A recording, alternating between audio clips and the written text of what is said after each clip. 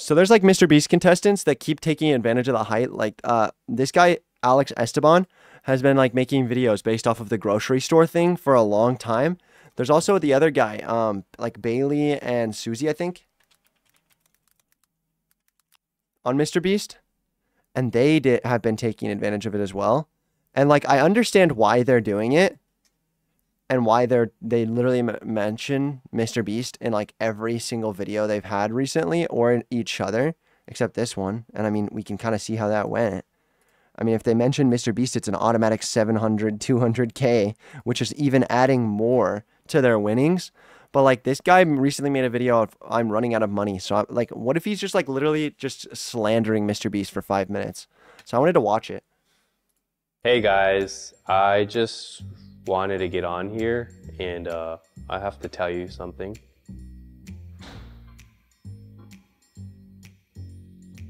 The goofy music in the background already explains that it's just like him trying to be uh, like crazy and goofy with it. So it's definitely not something for real. It's just the like him doing another video capitalizing on it. Hey, What are you doing? uh, I was. I gotta tell them something. uh, actually, can you help me do this? Uh, marker. The funny thing is, is we definitely know that that was staged. I hate when I see this stuff like this because I know it was so awkward for him to film that. Like that little skit was probably the most awkward thing in the world because he has to act like he actually got caught in the middle of something. There's no shot he got caught in the middle of that with a camera set up perfectly on his friend. Ah, YouTube's hard. Being a YouTuber's hard. Eh, That's why it's harder than your nine to five. What? Crap. What's your name? Where you from? And what do you do? My name is Alex. I am 30 years old. Actually, turned 30 two days out of the grocery Dude, he doesn't look a day over 30. store. And I live in Nashville, Tennessee. Raised and not born, born in Costa Rica. What I do for Just a living list his whole right address now right is now. I'm actually unemployed currently. Obviously, you were in the Mr. Beast video, and you've been making content centered to that. Now that the milk has run dry, what's next? now that the milk has run dry, that is a crazy way of saying that get literally gifting you 57 almost 60,000 subscribers plus 3 million views, then 14k, then 26k, then 1.3, then 70k, then 18k. The milk is not running dry. Bro stole the milk and ran out. Now that I can no longer milk Mr. Beast, I will be going and working on a dairy farm. That is also a crazy thing to say is milking Mr. Beast. You're going to milk Mr. Beast. Man, I'd love to milk Mr. Beast. To milk calves? No, great question. So that it brings me to why I'm here today, and that is to explain to you guys what this channel is going to be all about. For now, could change. I have ADHD, so who knows what's going to go on here. Which is why I put out a poll to you guys asking you, would you like to see business, real estate, finance related content, or more entertainment style content? That is So here's the thing about Mr. Beast. There's a whole video essays out there on how Mr. Beast shoutouts will ruin your channel. If he switched right here, this channel that has been uploading challenge type videos where he just talks about winning money and he just talks about doing like thumbnails like these and doing stuff with Mr. Beast and switched it to finance, he would get no views because no one cares about finance that came to you, watch you from Mr. Beast that most of them are 10 years old. I wish that I could tell this guy right now that if he switches his niche, he will fail and he will lose all of this that he's already built up. But it just it just sucks and he might have to learn, learn the hard way. It is high pace, very retention driven? Or would you like to see a combination? Oh, all good? Dylan. And right now, the polls are saying that they want business, real estate, or a combination of both. Those are the highest picked categories right now. I want to do both. I want to entertain you guys, but I also That's just not going to happen. What are his votes actually looking like? It says he hasn't done anything. Does he have like a did he he probably did it on his Instagram. I think I have ADHD is also a wild claim. But I, he must have done it on his Instagram, which is going to be a vastly different audience than his YouTube eh, audience also want to give you value anytime you come to this channel. The channels and the creators I love the most are the ones that after I click off their videos, I feel better about myself. I feel motivated. I want to go and do something myself. Is that how you guys feel after clicking off my streams? Y'all feel motivated to do something yourself? Hopefully I give off that vibe. I try to be motivational and be cool, but uh, do I motivate you guys? We'll see you in chat in a business a business day. Kinda, yes. Okay, I got two answers. I guess you feel happy. Okay, that's good. That's good. Okay. Thank you, thank you, thank you. I have such a, a, a positive audience and positive impact. Thank you guys. Those are the style of videos that I love to watch, and those are the kind of videos I want to create for my audience. Yeah, going on a yacht and doing this and doing that and going on some extravagant trip and document it. Of course, that's really cool and all, but like, I am a husband. I have two kids. I have a home. We're established where we are right now. That's just not the season of life I'm in right now, right? That's the thing that I don't understand. Like, I fully understand why he's deciding to not pursue that but also at the same time don't put don't lump a bunch of people into this category as a husband or as a father that you can't do that type of stuff and still take your family. You absolutely can. That's actually crazy that he feels like maybe he doesn't feel like this and I'm just reading this wrong, but he feels like because he's a husband and a father that he's strapped down. I feel like that's the very thing that's going to cause a bunch of people to be sad in the future and not get themselves married. Like me personally, I chose to marry Kayla because I want to do those things with her. I want to go travel. I want to go do things. Like not the other way around. I don't want to stay home. I don't want to do nothing but I want to honor my relationship by taking it to the next step and do those things with her. And I think that's a perfectly valuable way of looking at things that he is not looking at things as. Also, saying that going on a yacht and watching entertaining videos is not fulfilling is just also wrong. I watch you I watch Mr. Beast videos and I feel more motivated to do things than ever, and that's because of the way it's set up and the way he does entertainment stuff. Right now, I'm in build mode. I'm in work mode. I'm in grow mode. And I want to build, work, and grow mode, but he is currently unemployed. It just feels wrong to me. I don't mean to be rude to him at all, but I, I feel like I was in a, this very similar mindset just a, a couple months ago in this exact thing.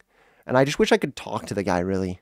I want to share that with you guys. I tell my editor all the time, and I tell my videographer too. Like, I don't want to just put stuff out just to put stuff out. I want quality over quantity every single day. And I know this channel is not going to be perfect right off the gate. I'm learning, I'm figuring things out. But one thing I've learned in life is progress, not perfection. So as long as I'm making progress one day at a time, I'm happy. And I hope you guys can relate to that as well.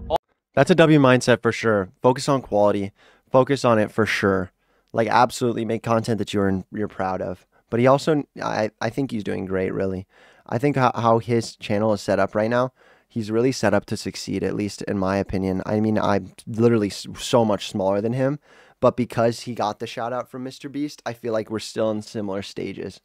I mean, he's just got like 30,000 more subscribers than me, but still, I feel like we're in similar stages, and uh, I can definitely support the quality over quantity mindset though he needs he does definitely I would like to see more of him posting I have in life, business, and relationships. Those are all things that I've had really good experience in, and I have been able to overcome so many things in my life to get to the point where I am now. In my real estate company, I had months where I was doing anywhere from twenty to forty thousand dollars in gross profits. Now, granted, I had just started that company. Quick little flex there company. So I had overhead costs, investment costs, employee costs. There were things behind the scenes that people didn't know. But I want to share all those details with you guys as well. Because I know like online people are sharing these things and it seems so extravagant and so epic. But I feel like people never really share the details behind it. Like how much money are you actually making at the end of the month when it's all said and done? Yeah, I just saw a $100,000 check hit your account, but how much did it cost you to get that $100,000 check? And I want to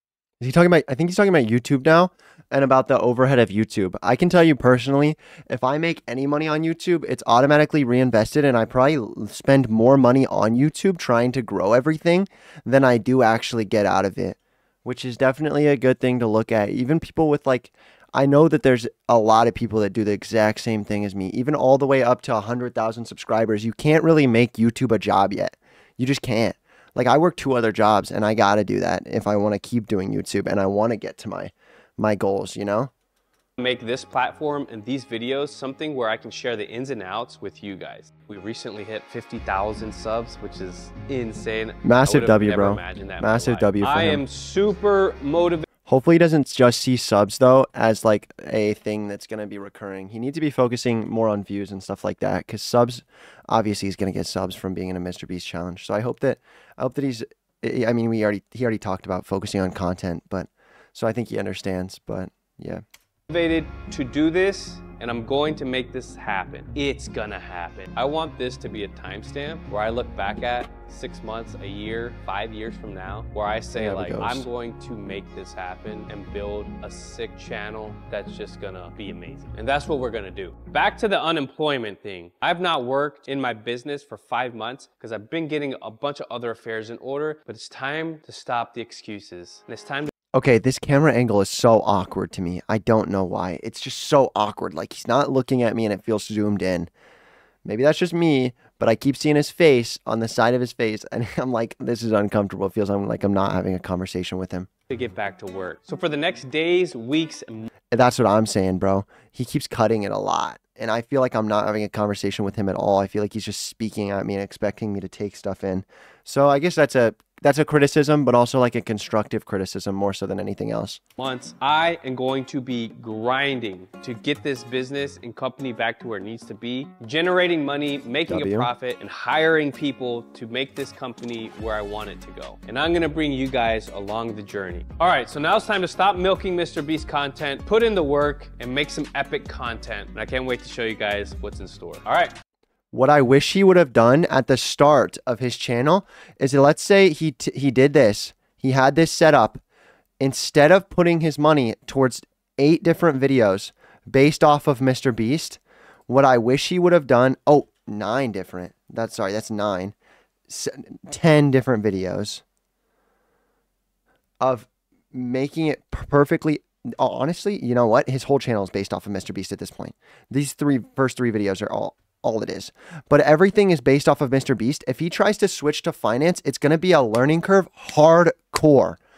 It's going to be a fat learning curve and it's going to tank his channel is going to tank in subscribers. His channel is going to tank in views and his channel is going to tank in every possible way because he's switching from the challenge niche that he's really really pushing for into something entirely separate which is finance. Your target market in finance is somewhere between 16 and 30 years old. That's most of the people you're going to be talking to. Your target market in challenge videos is anywhere from 12 to 18. That's the honest truth. There's fast cuts, lots of vibrant thumbnails, lots of non finance stuff that no one is going to care about when you switch to finance. It's almost as if he needs to create a brand new channel.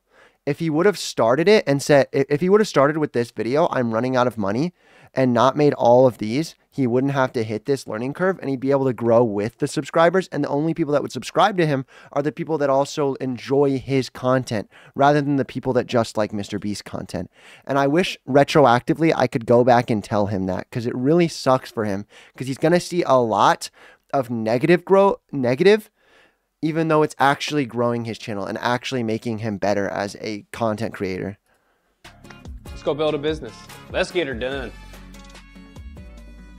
Honestly super well made video and i'm gonna follow this guy just because i think that in the future he's gonna become better. But with that being said i wish that i could actually just genuinely sit down and talk to him and say hey yo you almost need to just start a new channel.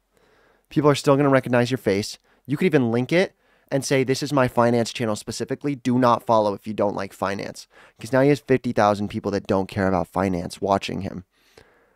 Maybe I'm wrong. I've been wrong before, but I hope this guy the best and I hope that the finance goes well for him.